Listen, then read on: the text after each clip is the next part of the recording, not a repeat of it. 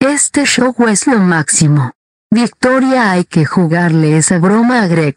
¡Qué gran idea! Vamos a ponerle jabón a su jugo o ponerle muchos chiles extra picantes a su torta.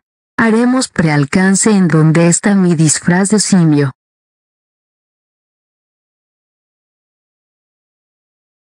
Niños les tengo dos fantásticas sorpresas. Acabamos de abrir un restaurante de comida, delicia asquerosa. Es una de las mejores ideas que has tenido desde siempre. Creo que no sabemos ser empleados aquí o ser meseros manejando un restaurante. Ustedes van a trabajar en ese restaurante y punto, y los va a visitar un importante crítico culinario. Su reseña puede engrandecer o aplastar la reputación de un restaurante. Buenas tardes, tendrás un pedido que consienta mi estómago con delicias culinarias. Yo soy el crítico más famoso de los restaurantes de la ciudad. Vamos a usar este libro de recetas. Vamos a hacer un estofado de marisquería.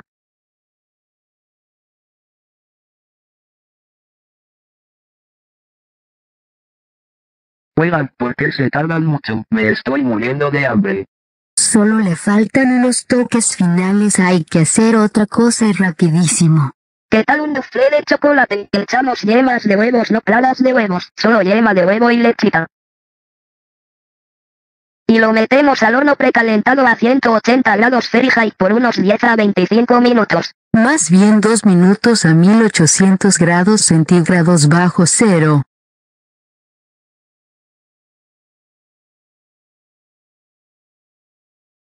Eso es un frase, si no me traen algo de comer ahora mismo me voy de aquí y nunca volveré nunca más. Ya casi está listo, no tardaremos. Piensa rápido y en grande que más hay en este horrendo libro. Unos plátanos maduros flameados se ven muy impresionante. Solo pelamos unos plátanos en forma de tocino y los quemamos en la sartén con aceite y listo. Se dejan enfriar por 15 minutos para que lo coman. Me tuvieron esperando para traerme esto.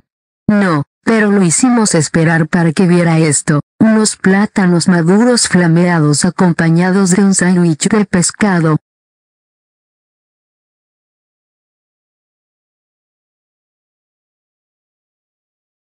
Se cayeron de donitas, deberían ver el cuerpo que pusieron. Soy Greg, esa fue una broma, toditito, después de años que he caído en sus bromas ya tengo venganza. Ahora él se reirá al final por ahora.